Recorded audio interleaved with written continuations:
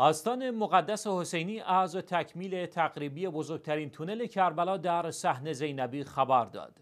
به گزارش پایگاه اطلاع رسانی آستان مقدس حسینی این تونل از میدان شهدا تا خیابان باب القبله حرم متحر امام حسین علیه السلام امتداد دارد و 94 درصد از آن تکمیل شده که خود قسمتی از پروژه توسعه حرم حسینی محسوب می شود. بر اساس این گزارش مهندس حسین رضا مهدی از مسئولان پروژه صحن زینبی گفت کار کلی این طرح در بخش خدماتی و تونل رو به تکمیل است و میزان بتون ریزی آن به بیش از 67 درصد رسیده است. وی افزود بخش خدماتی این پروژه شامل بخش های خدماتی، مهمانسرا و بازسازی بازار زینبی است.